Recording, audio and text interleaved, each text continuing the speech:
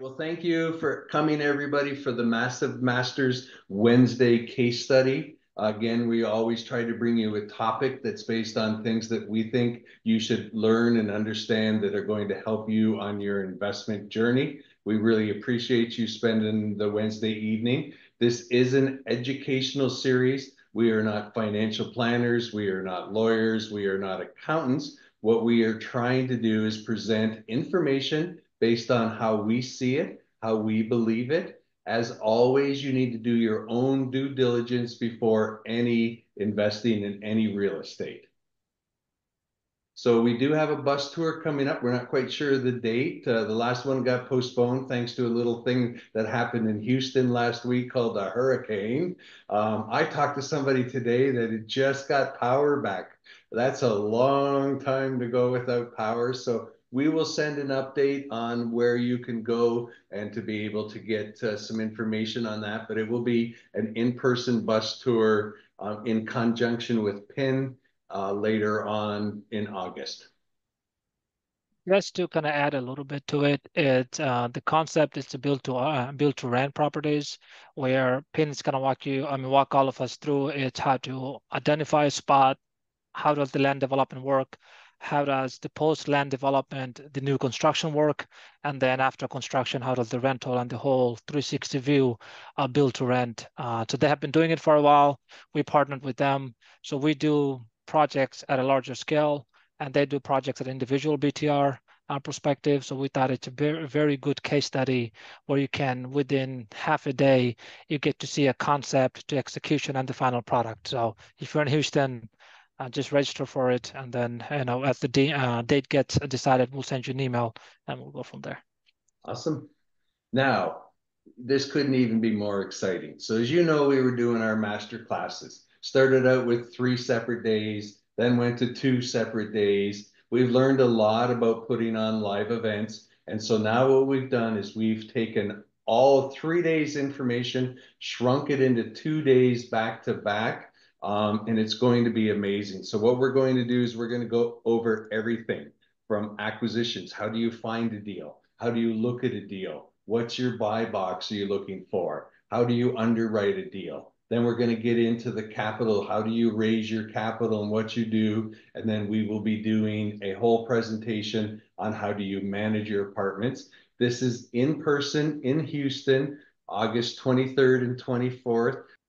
There we go. So this link here, it is going to be incredible. Um, we just decided from all the different times that we we did our events that this was a better way to present it. All of the information over two days. Um, we did it on a Friday, Saturday. So if you do have a W-2, you can try to get a day off. Um, it's going to be fantastic. We'll definitely have a lot of network, a lot of things happening, but it's something you definitely do not want to miss. Um, so I hope to see everybody in Houston. It's definitely even going to be worth flying in for. You're going to get a ton of value.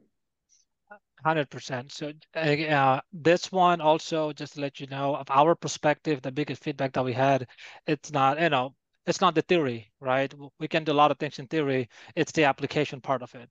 It's almost, I mean, not almost everything that we talk about here, it is based on pure experience. Uh, so if you're a fund manager, you want to start a fund or you already have a fund in the equity side, you want to bring to the real estate side, hey, you can join. We have a couple of folks coming out from the JP Morgan. And also if you're raising equity, we also are so in this market so that's that's there. And if you are uh, on the gp side making acquisitions we'll share. If you're lp side making investments then how to qualify how to understand how to underwrite how to make sure that you're placing your money right that's the acquisition section also the asset management asset management section right? So we'll open every single thing. And the second part is it's a simulation it's not us sharing what we see. It's you doing what we go through every single day. So bring your laptop. Uh, it's two days. It is almost like an immersion version of the MBA program in a 15, 20 minutes of concept, 30, 40 minutes of work. That's the way we kind of model. So it's a hands-on simulation of the whole journey of how do I position myself, build a team, and then underwrite then you know make offers LOI all the way down to disposition that I'm out of the asset. So we're really excited. uh, then quite a bit of people are signing up. So, uh, you know, this time we increased the uh, total seat count as well. So looking forward to see you guys there.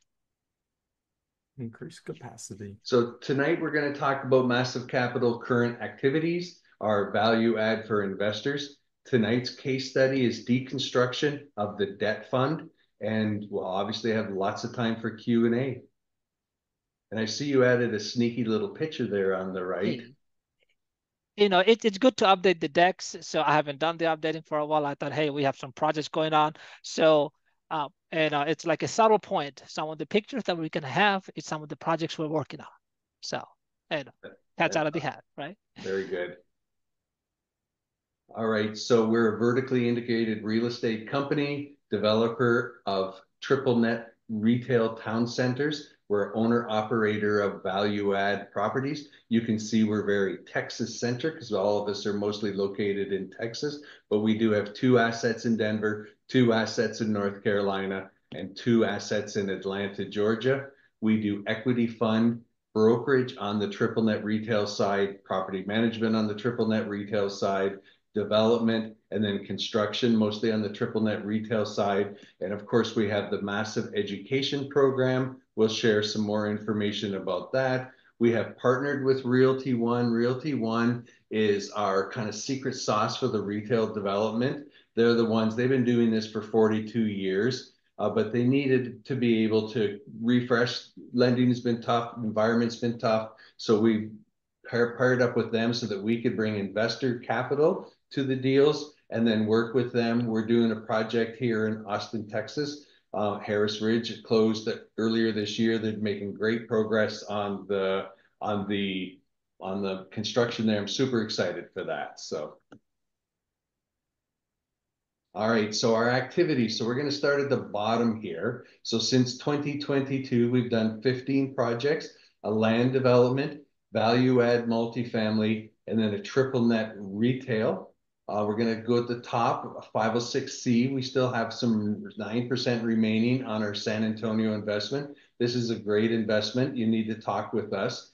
We are finishing a raise uh, in West Texas, and we're under contract for retail in Katy, Texas. And we have an LOI accepted for 400 plus units in Houston, Texas. Those three new deals will start as a 506B talk about that a little bit later in the presentation, what the difference is on that. But I want to make sure that you understand we got a lot of things happening. Um, it's quite interesting that, you know, we've been underwriting, underwriting, making offers, making offers, making offers, making offers, getting real close, but it's tough out there. Um, you know, we've done over 1,200 deals where we've underwritten. And, you know, you just want to make sure that you're working really hard to be able to find the best deals. This is the one that we have in San Antonio. And again, even this particular deal, you know, took us months to negotiate for the price, took us months to get the loan assumption done. And uh, it's a great opportunity. It's a five-year hold. We're estimated to 2.11 year multiple of your money, an 18% IRR. It has a 7% pref. So for those that don't understand, that means investors get paid 7% cash on cash in their money before the general sponsorship team makes any money. It's a real investor first approach. And of course, this one does come with the tax advantages of cost segregation. So, and if you're looking for a larger investment, we'll have a 10% bonus offer. You can talk to myself, Michael, Maria, Jasmine, and Brenda, anyone else on our team. Um, it's a great project. I've been there several times. Um, it, it's just, it's a great property. Totally off topic reminder. This is month number seven. Year is about to end. Uh, folks uh, who are going to earn more than 150 or more than six figures, you'll get that taxation issue. Might want to talk to your CPA and start talking about the you know other other uh, revenue or other income, non W two uh, profit that you may have, which you might need to offset. So this is a good time at preparing for those events because you know year is gonna end, and I believe if the tax bill doesn't pass, then depreciation will be even lower next year. So this is the time, this is the year, you know, get as much of a depreciation as you can, then it steps on to 20% even lower than this year. So if you're trying to wrap up the year and finalize your taxation of this year, this is the time to talk to a CPA and park And this is one of those projects you can always bring the an investment in because of the tax uh, portion of it. Okay. And, and one, one other thing too on taxes, the thirty-first in two weeks, our webinar will be about tax planning. And Bill, always a, a crowd favorite, um, he's gonna come and be able to answer questions, so it's amazing. So we have a five oh six B deal and we don't know each other. I'm sorry, you're going to miss out because we can't let you know about the deal. And we don't want you to miss out. So if you have not established a relationship with somebody on the Massive Capital team, I'm going to put a link in there. You'll be, oops, sorry, got it. That was my link for the YouTube. Book a call with us. Um, again, these calls are so we can establish a relationship. We can help you understand about investing. And then our goal is, is then we can send you these opportunities. If you're not an accredited investor, this is the only way you're going to be able to invest in commercial real estate. So book a call with us. Hmm. Massive value add group learning by doing. So our massive masterclass, we we believe that you learn a lot more by doing. That's simple as we can put it. And so a lot of masterminds just say, here's a bunch of information, here's a bunch of videos, have a nice day, hope you find a partner, hope you find a deal. Um, and again, they've got great networks and things going for them, but we've taken the approach that we want to have our students, our mastermind partners, it's called not call them students, partners, uh, to actually work side by side with us. And the way I like to look at it is that it just, it rises everything. So oh, we get 200 and 1,225 deals underwritten. We have 82 that we're currently working on. It's pretty impressive. And these are the programs that we use to do it. And these are all included in our mastermind, but Monday.com, Red IQ, and Client Harbor. These are all excellent tools that are provided for tracking the deals. Um, and you can see that's a lot of deals. Um, I always sort of joke that you got to kiss a lot of frogs to find the prince. Um, we've been kissing a lot of frogs, and uh, you know it's. Uh, but that's how you find the right deals. That's how you get things done. Um, and then I've often said with our mastermind, our students are like the tide. We're on a big ship here, and we're trying to do more things and take over. And as the tide comes in, it rises, and so we're able to do bigger deals, more deals. We're able to look at more deals. Um, just nothing makes anything better um, for you to be able to work with a group to get these things done.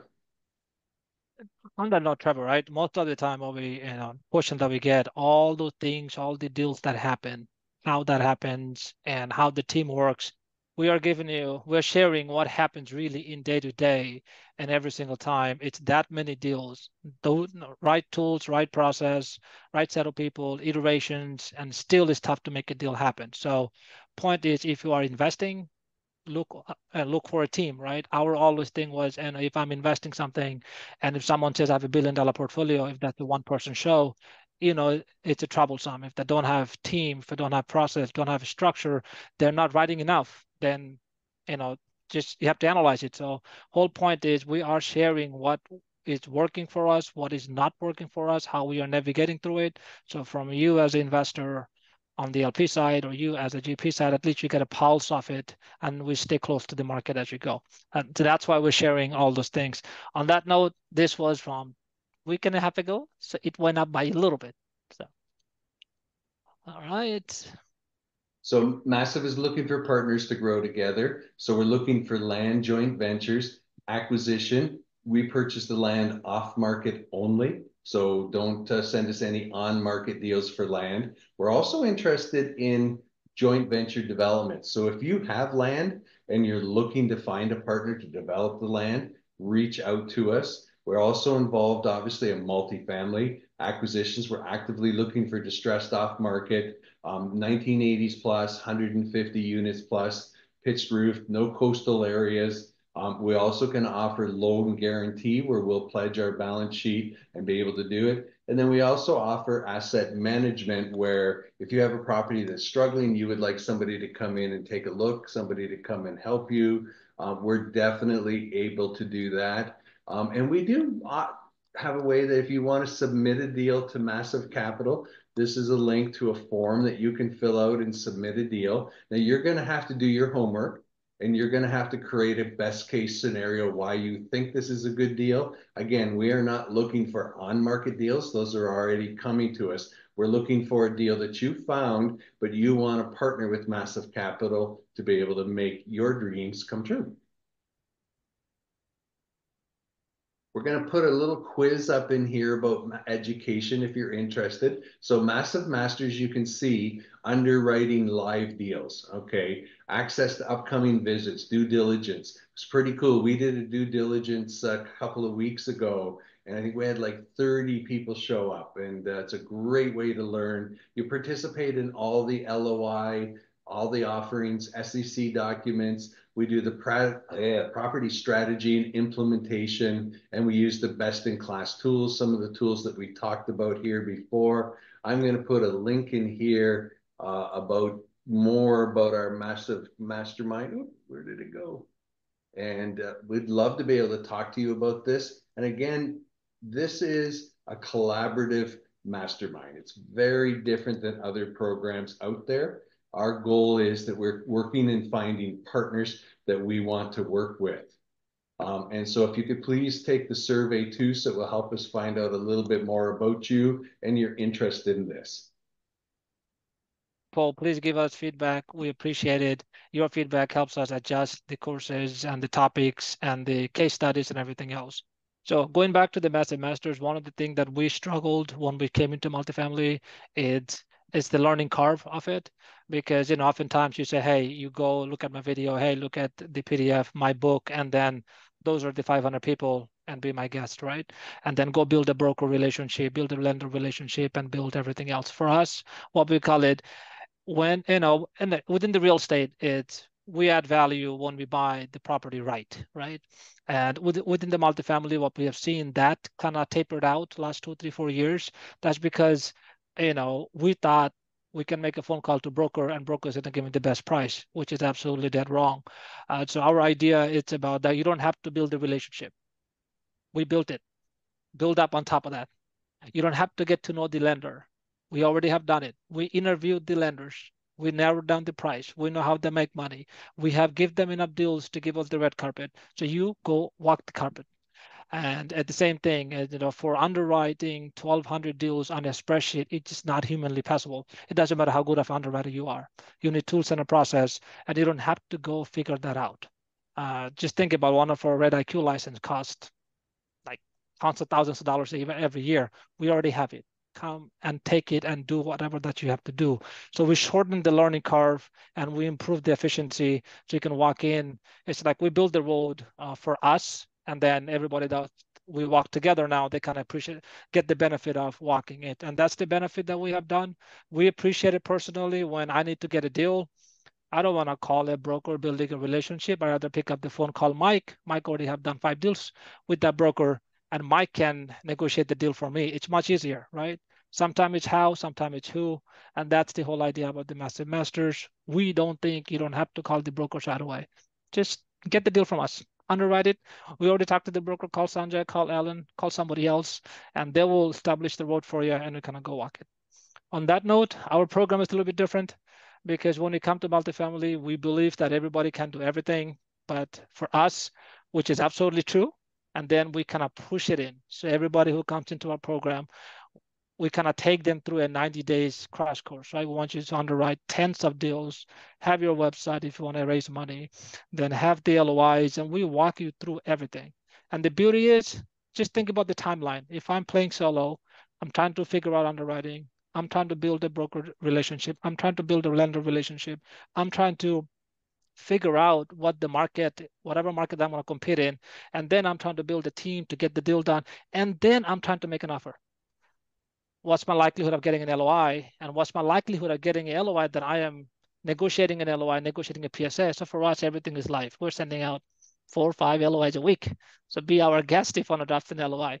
If you want to be on a phone call, see how to negotiate with the you know lenders and the brokers and the attorneys, come join the call.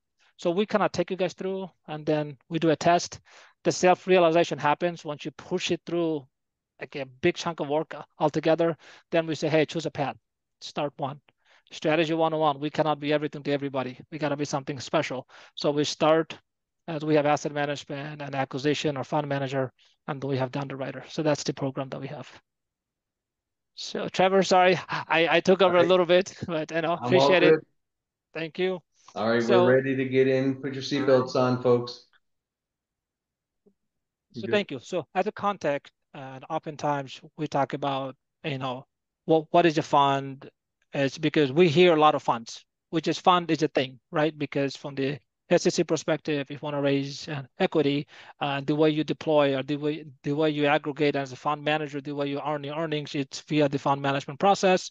And then uh, from the LP side, we also get a lot of questions about why not investing, you know, individually per projects, or what's the benefit of investing in a fund, then what's the difference between a debt fund and an equity fund and all this kind of other good stuff, right? And those are right questions, right? Academically, if you think about it, everything has their places and, and rightful reasons, right? So with that, as we walk through, uh, we had a, a, session before for capital stack, and this is a, and a built up on that from the capital stack. We talk about debt and really share a little bit flavor about where does debt fund sit in within the real estate?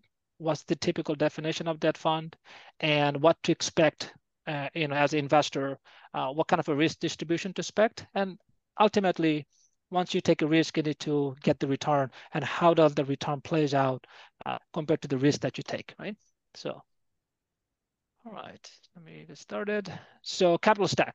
Uh, you know, just to recap a little bit, uh, we have a. Uh, by the way, we thank everybody subscribing our YouTube video and watching those hour-long you know, videos that we're putting out. Uh, it's last 40 days or so, our subscribers went up to thousands. So thank you. And all the videos are there. And the capital stack video, it's a really good one. Uh, so on the left side, on a typical app, it's, it's capital stack means all of the money that we need to buy an asset. We have the senior debt, we have the mezzanine debt, we have the preferred equity and a common equity that's the classic stack that we see. And depending on who chooses to use what, right? If someone says, I buy all cash, then what they're saying is that, hey, I don't want to take a no debt, no preferred, only one common equity, and it's done. When someone says, I have a deal with the pref, you know exactly where they sit. Uh, this is number one position, senior debt. This is number two. This is number three. And this is number four. And the risk perspective, since they're number one, they have the least amount of risk. If this is 100% of the money. The senior debt just it's about 60%, 70% of the total amount. So if all goes bad, then by the time it goes to bad, the market has to hit 30%, and then it has to come through them. Hence, they are the cheapest. That's why debt is the cheapest way uh, to buy an asset, which is also why, depending on the time and the place, you want to leverage up as much as you can because this is the least expensive. This is okay expensive this is expensive and this is really expensive from the deal side of it. Expensive means also the return, right? From the investor perspective, you get the least amount of return because you take the least amount of risk. You take the most amount of return because you get the most amount of risk, right? So that's the that's the definition of a you know, senior debt, which is the lowest risk in the capital stack. Uh, and our types of deals, and typically 99% of the time, you'll have senior debt. Or you know, if someone said I'm buying property all cash, then the return expectation of that money behave like debt. I'll use an example. Uh, you may have seen the news, Grant Cardone bought some big assets in Florida all cash. It's a news, but behind the news is that he raised a fund that is a debt fund. So he has all senior debt all the way up and he bought the asset. It worked out now because you'll see how the debt returns are. As of now, bank rate is high. If I get a bridge debt, 8 9%. My thing is, if you add one more percent to it, that's a good set of fixed return for a lot of investors out there. So today is the time, it makes sense for us to invest a lot of debt fund because you get to continue with the money at a very decent return, right? That's that's how we did it. Uh, mezzanine debt, it's a, it's a little bit higher. Typically, mezz debt happens when uh, you want to leverage but uh, the senior debt is not quite there, uh, then you're saying, hey, I have additional property somewhere and I guarantee it, you give me that because the mezzanine debt, you know, it has some personal guarantee to it. It's just not for everybody. Uh, it's typically, we don't see it on the multifamily. We see a lot of that in, um, in the new construction side. because new construction side they give you a lot of money on the capex, uh, but there's no there's no tenant yet, so they may require you to do some mezz debt to it. Uh, I'll give you an example as you go. So we are working on one of the projects now. Uh, it's going to be a $17 million loan, and that loan will be somewhere between a mezz debt and a senior debt. And we have to put our you know, balance sheet online for that one. Uh, so you'll see the mezz debt being taken by senior operators, senior developers who've been in the game for a while and made a decent amount of money, strong balance sheet, uh, not the uh, incoming first timers.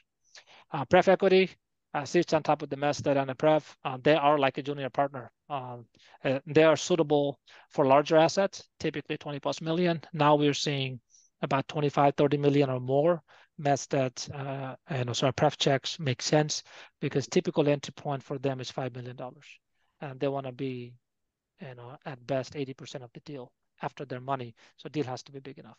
Uh, so, and you know, when you avoid uh, pref debt, when market is hot. When market is hot, you don't leverage up that much. But when, when market is at its worst, all day long, all the way up. So as you go, and the common equity is the highest risk, and typically it's the retail equity, it's the fund that we raise, you know, and as we go, right? 100% on the multifamily, 100% on the, you know, um, the retail construction that we do, we bring in common equity, then we go. So it's a lot. I understand it's a lot. It's a lot to visualize. It's a lot to understand, which is okay. So I, what I tried is I tried to visualize it uh, instead of all those words. I said, if you want to visualize, what does it look like? So this is what a version of it. Um, the x-axis is the risk, y-axis is the return. So point B is the lowest. I mean, this um, the small one on the far left is the smallest. So imagine this is your senior debt and all the done your common debt. So again, this is purely from academic. There's a number associated with it. It's a directional view. So you can see left to right, right? Now, the point, you you need to think about the, the idea or the thought that we should have here, who I am, what type of investors I am, how long I want to be in the investment game, or what's my runway left remaining, what I choose to be, and then how do I build my portfolio?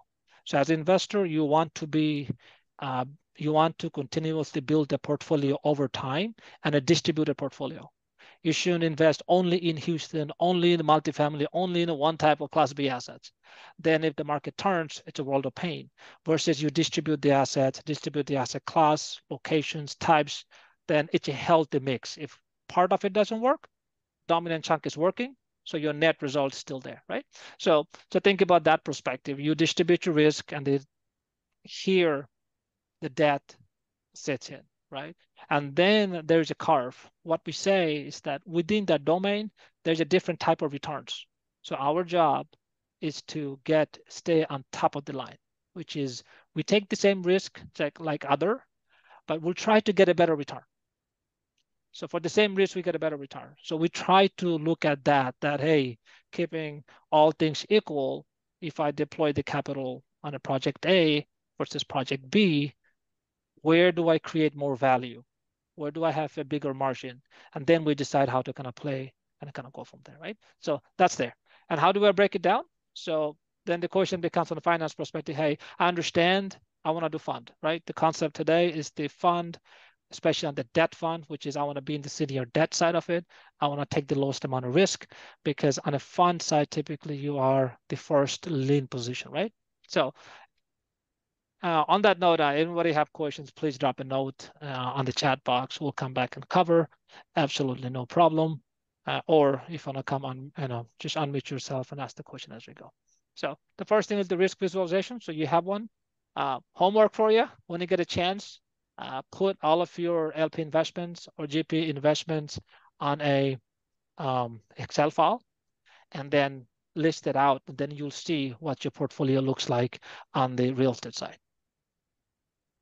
All right, so let's see from here, uh, we're gonna do one, uh, so we understand the risk. Now we're gonna do one investment, just one, right? If I do one investment, what happens?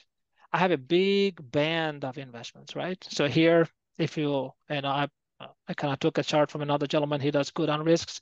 Uh, x-axis is the expected risk, low, medium, and high. I'm using this stock just to kind of give you that. So low risk has a low return. But then the question becomes, if my risk from left to right, as you go to the right, you can see, even though I'm taking risks, I'm not getting returns. So if you aggregate all of your return, you want to avoid this peak right here. You want to be in this zone where you're taking the risk and your potential upside is higher. That means even though I am getting low return, if the market happens or if something happens, I get a bigger upside, right? So that's the idea from the investment perspective. You always want to be on the side of the market. You don't want to be too far away from the market. And then when the market turns with you, you kind of turn that, which is also why we love doing projects that has a higher interest rate because I'm close to the market. If the market gets better, I get better with the market. If the market stays constant, it's fine, right? We're already paying high. And, you know, going higher, extremely unlikely. But if it does, I'm not to get hurt too much right, because I'm at the market. On the other side, if we do low interest rate, but we not too low, but close to, closer to the market, we do a loan assumption. So three years down the way, you can pick up the same loan without bringing in too much money. So I have potential exit, and we play in between. Uh, you may have heard us saying that we don't underwrite anything less than 4%, uh, anything like that. We try to stay around a 4.5% interest rate. Gives us a lot of comfort zone because market is about 5.5, 5.6. I'm at a 4.5, close to the 5. It's a good spot to do it because if I buy something at a 3% interest rate, I am cash flowing today, which is true. But that's because I have a low interest rate. The moment that goes away, which is when you're going to, then your NOI will be punished because somebody has to pay a high interest rate. So automatically you have to work for free and NOI to cover for the higher expense. And then you have to work double to get, you know, uh, get profit, which is why we kind of shied away, or most of us, we shied away from the very low interest rate assumption that doesn't have a very long uh, hold time, right? Now the question becomes, hey, I do, back to this, we, we have done one investment. Now, if, I, if we're investors, then we got to continuously invest all the time and we have to shorten our peak. So what we do is this, we keep on investing. So, you know, I mean, coming into 2024, uh, folks who invested, including us, 2022, 2023, and 2024, depending on the asset that you invest with, some of them may not have worked out. Some of them you may have to go write off, but it hurts it is, but at the same time, it it does not mean that you stop investing because you got to average it out, right? How many times we own a stock, price went down, and we believe whatever we believe, we double down. Real estate investment is a very similar version of it. So if you look at the aggregate portfolio, if one or two assets are not working, you continuously invest. So the longer you invest and the more you invest, over time you average out. And that's the beauty of you know, investing over the long horizon and distribution and a distributive type approach that you will average out. Don't just do one and stop because you may have a different experience. So that's the point of this slide, that distribute your risk.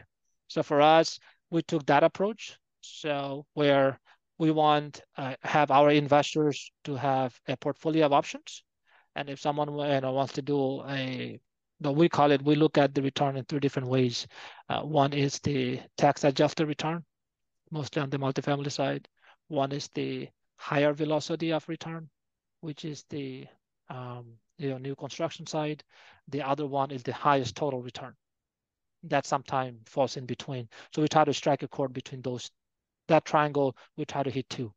But core is one, then we work towards the other one. So from your perspective, if you do multifamily, as you know, it's typically five years. If you do new construction, it's typically three years. If you do triple net cash flow, it's longer horizon, no upside, no downside. It's a continuous flow. Now, if you have a blend of it, you get some cash flow, you got a retire exit coming up in three years, have exit coming up in five years. So you're mixing, match it up. So every year something is happening right? And you also distribution there because different asset classes, different asset category will perform a different way depending on the economic timeline, but your portfolio is still performing, right? So that's there. All right, so, and then, you know, the question is, how do I decide, you know, whether we invest in funds or we invest in not funds, right? So our thing is, you know, invest you know, as a as an investor, we need to have a longer period of time horizon. right? Uh, and if you come in and try to flip right away, all this other stuff, uh, that has some distribution problem, risk adjusted problem. And the secondary problem is, hey, you know, one investor can say, hey, I got 25% and I'm happy with it. And you could debate, hey, I got 12%. I'm happy with it. Uh, why I'm happier than you are? Because, and I think about it, somebody who make who may make 25%, maybe it's a three year, I mean, let's say three months flip. Rest of the nine months is sitting out there. On average, 12 months adjusted, less than, it's like a high, high single digit. Versus if someone has continuous 12% or 10%, money is working. You've done your work one time and it's going right? That's one of the beauty of the debt fund. Most of the folks on the debt fund, they will invest because you have done your work once, you know you took the least amount of risk, and you have a continuous money flow at all time till the debt matures. And typically they mature in three, four, five years out. So you'll see the debt fund stay uh, a little bit longer, right? Uh, here we go. Uh, in the short term, it's always problematic. So flip mindset, it's problem as an investor. So you want to stay in as long as you can and then you want to distribute as much as you can. At least academically, that's what we believe, right?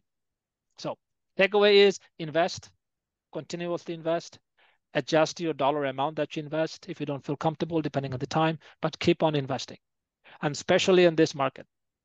Uh, so we can hear all the news, and the news are true. It has a meaning to it, but that's a lagging news because if someone goes, if I hear there's a foreclosure or something happened, it happened a year and a half ago. I'm hearing it today, but market bottomed out six months ago.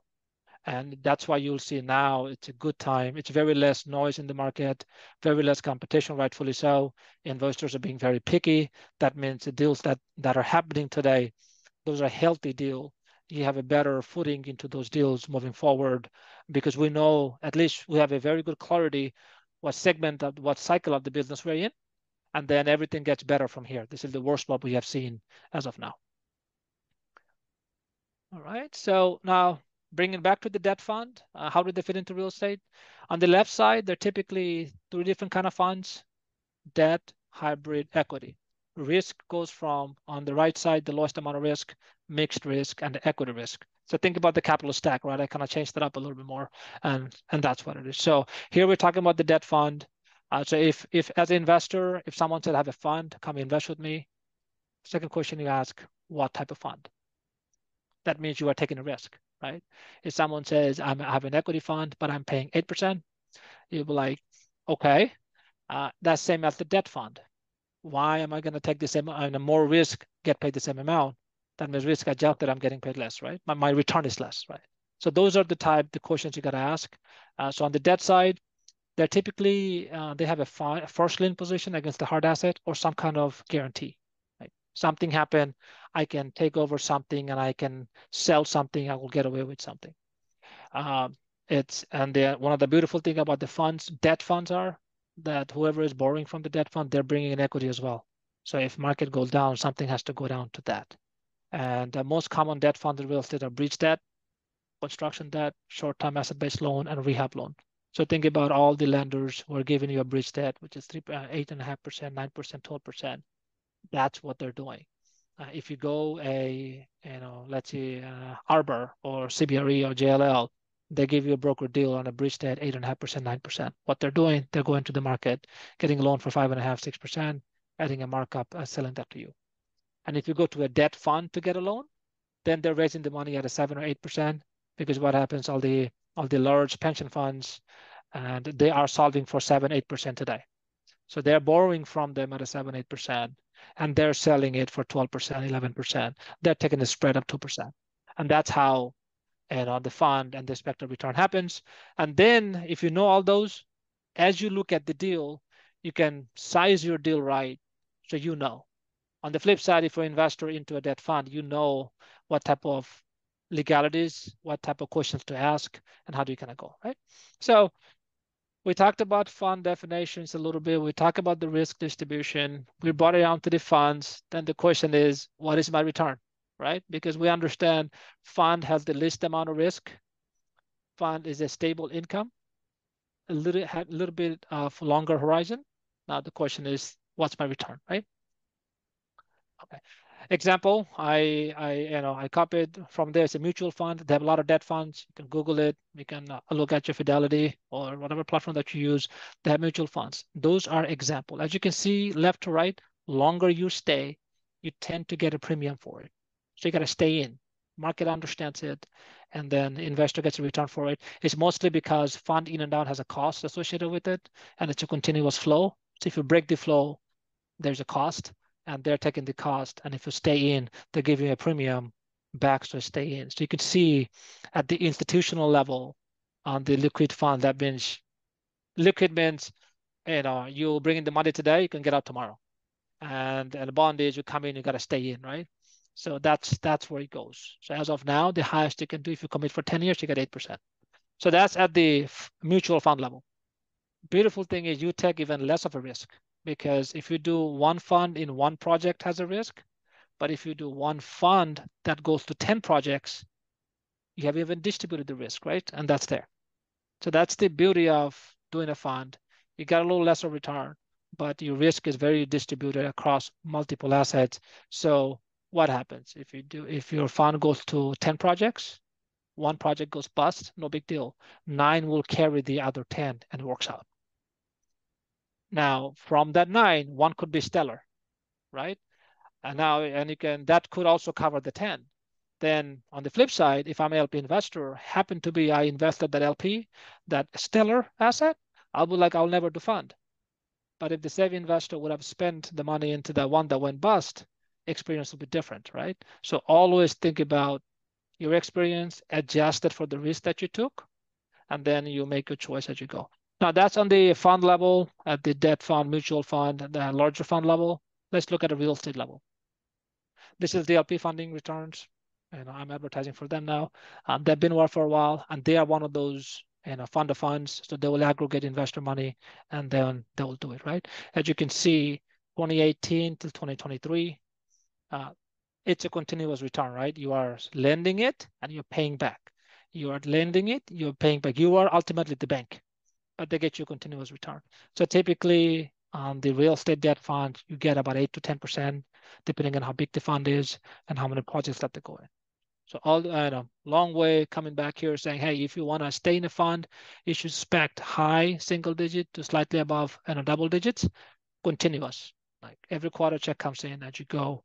You don't have upside. At the same time, you don't have a downside, but you have a systematic cash flow as you kind of go through on this project. So all the way saying, hey, take your, uh, you know, take your pick, build a portfolio. That's that that stays in the corner. That means you got to invest in the multiple projects, have a long horizon, do some debt, do some funds, do some debt funds, do some equity funds, do some, you know, uh, direct investment as well. So if you want the most return, direct investment. If you want the second best return, it's a fund. If you want the very low risk return, that's your debt. If you want low, low risk return, that's your fund, debt fund that you have. All of the things that we're saying, it's also because we have a debt fund. So Massive Capital has a, uh, we started a, a debt fund. Um, we, we took some funds already. And then personally, I had a debt fund that we deployed for the equity on the land side since 2018. And now we have grown that up. Uh, we learned a lot of stuff to bring it to the massive debt fund. We haven't quite publicized yet. Uh, I think uh, Candace is leading that debt fund. Uh, it's it's a very similar pattern. And we're just finalizing the return on the legal, you know, legalities of it, and we'll bring it to uh, to our investor base sometime within a week or so. Okay. That was a lot. Open for Q and A. All right, let me see what we have here. I'll stop sharing, then we'll just cover that. Trevor, you on mute. You know, launch launch one last poll for today. Okay just on investment types and things that people might, we talked about a few different investments and what types of investments would people love to have, like to have? And um, so that it helps us target, you know, what we're doing as well. You know, what are we, what are the deals we're looking for and uh, more types of different funds and how we can, you know, be sure to cater to the investors that are out there. Cool. Thank so, you, really appreciate uh, you guys take a chance to update the put uh, give us some feedback on the poll here and uh, see where we can get on that. Appreciate it all. And go ahead with Q and A. Yeah, so if anybody has any questions, you can feel free to unmute yourself and ask the question. Um, and again, if you found some value, we appreciate that. We would ask you to come back next week with a friend. Um, our goal here is to provide an environment where we kind of try to tell it as it is. We answer questions. If we don't know the answer, we go out and try to find the answer. Um, you know, it's so this is an environment where we make it fun and easy for everybody to learn. As I did mention, all of these are recorded. So go ahead, Andy. Thank you. Yeah. Thank you. Hey guys, I'm glad that I joined today finally. Because I've been trying to make this uh, webinar for the longest time, ever since uh, Fund Launch. um, I, I feel like I just jumped into the the best the best webinar today. It was just amazing on Capital Stack and um, great presentation, ten out of ten. Um, so really interesting. So you know, just I guess in a sense, the whole keep investing. So it's in a sense, your dollar cost averaging your investment, hedging your risk in the sense because no one's gonna bat a hundred, right? Let's I've lost money on real estate investment, so it makes sense. But I guess how would how would you frame that? Like, if would would how would you frame that to your LPs in theory, and like, how does that affect your credibility for the next fund or the next deal that you might work on? Got it. So uh, let me kind of recap the question, right? You're asking how do I position myself as a fund manager?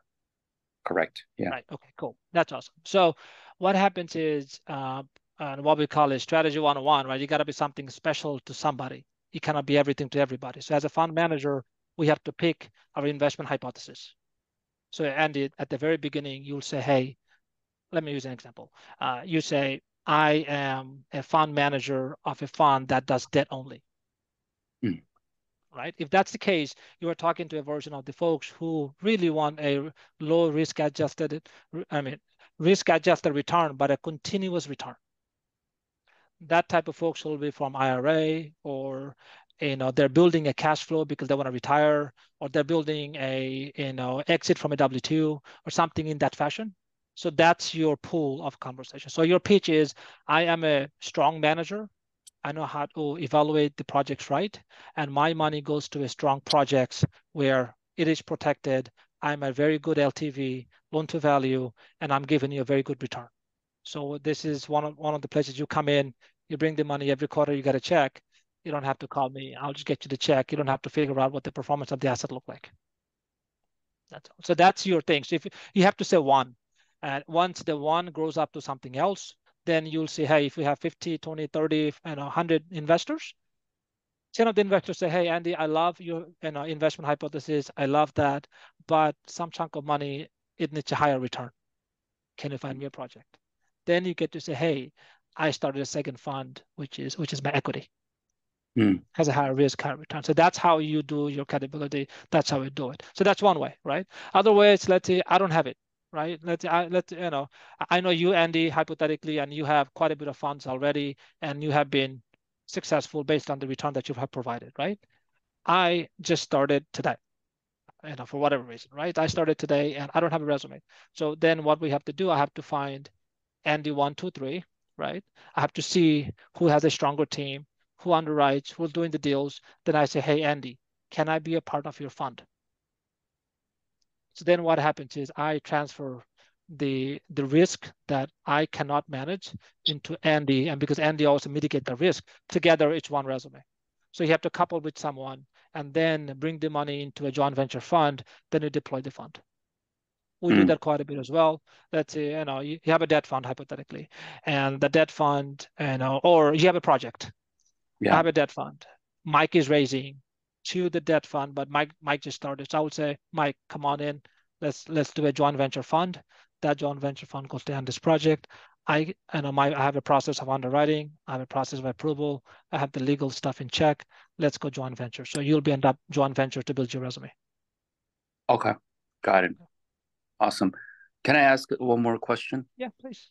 Um, so with, with the capital stack diagram with the senior debt and the the preferred equity and the the common equity.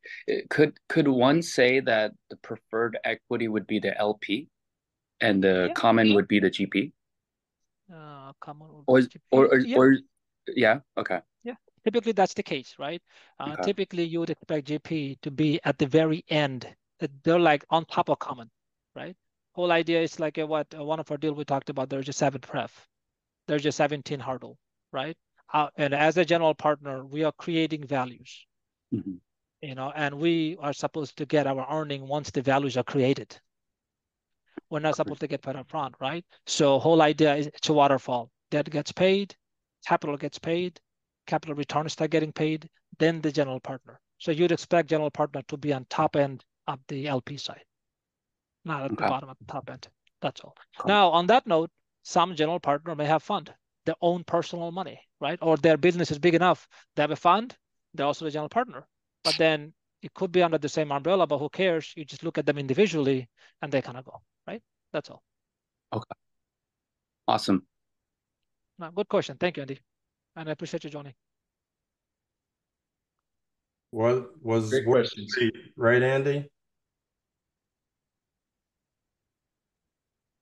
Sorry, I'm getting a call at the same time. Oh so- no, no, no worries. I said it was well worth the wait for you coming on. Oh, 100%. I, I got a lot of takeaways. I was just teaching someone about capital stack, but you know, you guys just I took I was like, wow, this this is a lot better. Oh, this is a lot better. I'm I'm gonna be honest. This is a lot better. This is really good. It's really good. Excellent. Thanks for All joining. Oh, yours, man. Thank you for joining. You know, and one thing too, I want to talk about somebody, let's talk more from the passive investor side, right? Of spreading and diversifying your risk. I've said this several times where it's like playing a baseball game. If you go for a home run every time, you're never going to get to the World Series. So you're going to want to hit a couple of singles, a couple of doubles, and then take a couple of shots to say, okay, I think this is the time to take my moment. And then you balance those out. And that's how things, all the different timelines, the different asset classes, the different things, that balance is what gives you the kind of, I'm going to call it a winning game. And My my thought on that one is, look, if you know how to hit single every time, you'll know how to hit the hammer and hold run when the ball shows up. Right? Keep scoring it, the right scoring. Don't miss it. Missing is expensive, but if you just hit the once, just continuously hitting it, then when the home run ball shows up, you know how to hit that, right? Yeah. But flip side is tough. Flip side is extremely tough. Yes, Ajay, go ahead. AJ, go ahead. Yeah, come on, come online. You should be able to unmute yourself. Uh, sorry, I was having tough time getting off mute here. Thanks, Shariar. First of all, good presentation. Real quick, just in terms of uh, making this real to the investors. So I get the debt aspect of it, which you explained the structure. Now, from the GP aspect of it, I just want to make sure I understand that correctly, Shariar. If we have a deal and we bring the deal over to you, of course, it's something which may be an off market and we think there's value. We've done the base underwriting will you be as uh, in uh, this debt fund becomes a co-GP on that deal? Is that the model you're really propagating here, which then goes through the life cycle?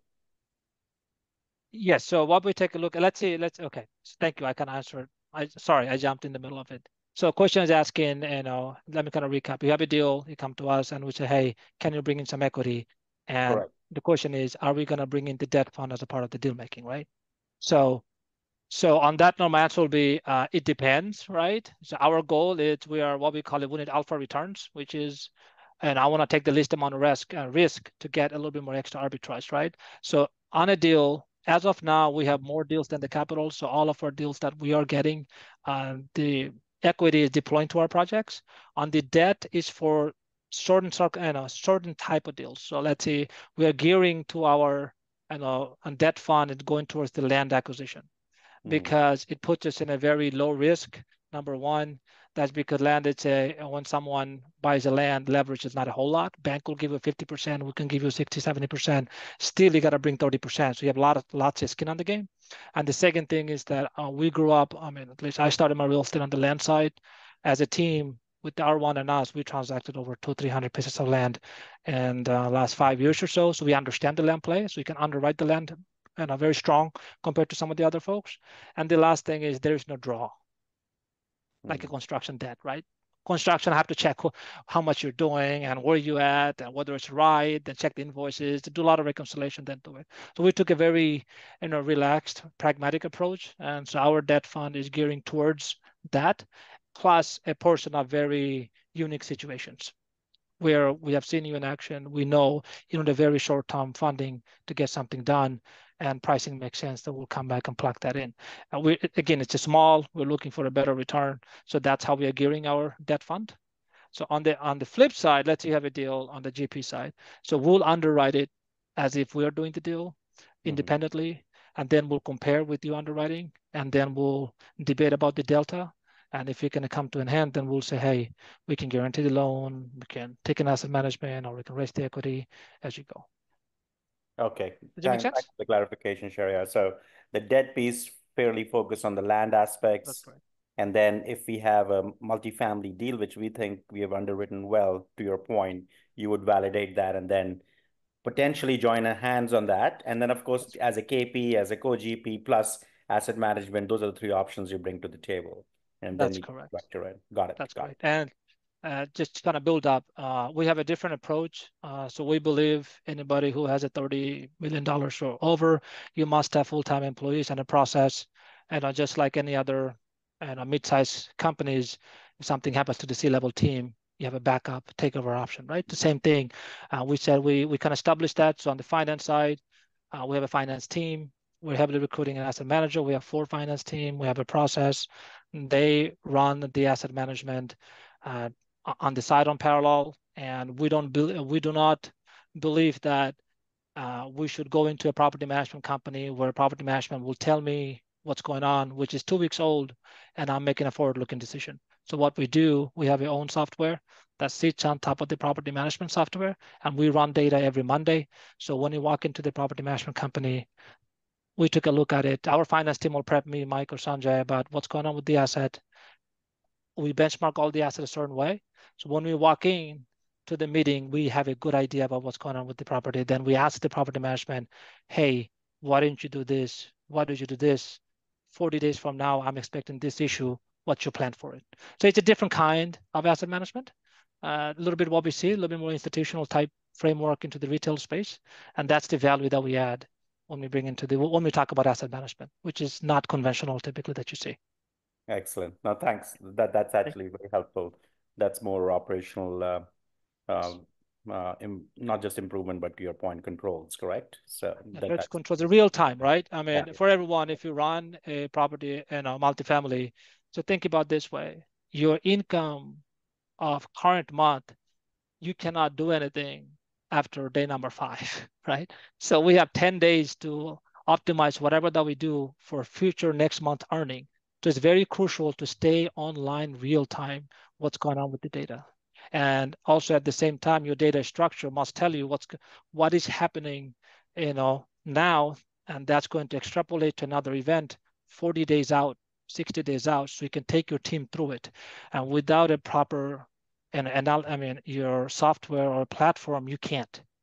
It's not the spreadsheet basis where you just run the number, look at backward looking, because 100% of the tools that we have, it's backward looking data. What happened? I got a result. But as a managers, asset managers, we are looking forward and say, hey, it happened, already happened. Whatever's supposed to happen 40 days out, how can I prepare for that one? So we use that software for those type of conversation mostly. Great. A good Thanks. question. Thanks. Thank you for asking. Yeah, I appreciate it. great question. Uh, Phil, Anybody yes. else? Uh, Phil sent me a note. Uh, yes, all the recordings are on YouTube. Uh, it's there. It gets posted within two or three days. Uh, it's uh, youtube.com at Massive Capital, I believe. Yeah, I've posted the link in there. Yeah. Okay. Someone asked me a question about the asset management software. Uh, we'll do a session. We'll walk you guys through. Uh, so that's uh, it is uh, we built it on on the Power BI. So we have a data. Uh, so what we do, we download all the reports. So what we have seen is that uh, if you go to any asset management software, they have lots of reports, and they're gonna tell you, yeah, I have lots of reports for everything you want. But ideally, if you want to drive a decision, every performance got to give us an independent variable to drive a decision, right? Or drive an action. And what we have seen is that not all the reports will give you the holistic view. You need to have a piece of 10% of a report one, 20% of a report two, 30% of a report four. Then some data is missing, but you got to run like 10 reports to build the storyline together. So what we do, we that's what we do. Every asset from our you know, PM software, we download 10 to 15 reports. Then we have a master mapping. And we, we force all the reports into one format, and then we cut the data. So that part, so we have you know, one of our finance team member, he just runs that those reports, hundreds of reports every Monday. And, and the dashboard, it's pretty meaningful because all of the investment that we have done, they're forced into the same, uh, the KPIs that we do. All of a sudden, we have a force ranking and then all the things that we learned over time, we bake it in as a KPI. So I don't have to run a report as asset manager. My analyst is running the report for me, and then all the dashboard that I have that indicates some kind of a, you know, reaction or action, so we can drive those conversations as we go. Good question. You don't want to look backwards. You want to look forwards, or at least today. Awesome.